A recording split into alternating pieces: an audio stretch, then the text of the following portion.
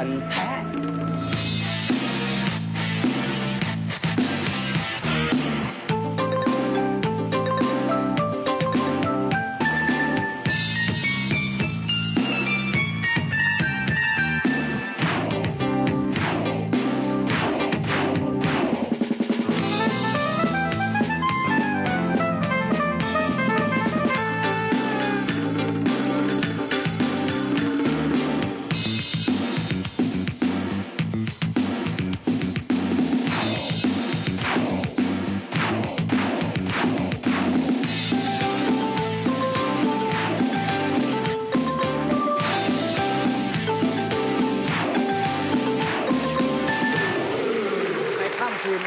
ผมยืนอยู่ท่ามกลางรถ Honda 2 รุ่นสุดหรูเลยนะครับ สืบเนื่องมาจากครั้งที่แล้วนะครับ ที่เราทำแฟนพันธ์แท้ของมอเตอร์ไซค์นั้น แจ็คพอตไม่แตกข้อสุดท้ายตอบไม่ได้นะครับ เพราะฉะนั้น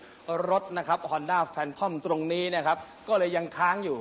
เราก็เลยเชื้อเชิญท่านผู้ชมนะครับ ว่าถ้าหากว่ามีใครสมัครกันเข้ามามากและได้เร็วก็จะได้จัดขึ้นไปนะครับ แล้วก็ปรากฏว่าผู้คนสมัครกันมามืดฟ้ามัวดิน เราก็เลยจัดขึ้นมาได้ตรงนี้นะครับ เพราะฉะนั้นในค่ำคืนนี้จะเป็นอีกหนหนึ่งครั้งนะครับ แฟนพันธ์แท้ของมอเตอร์ไซค์ครับ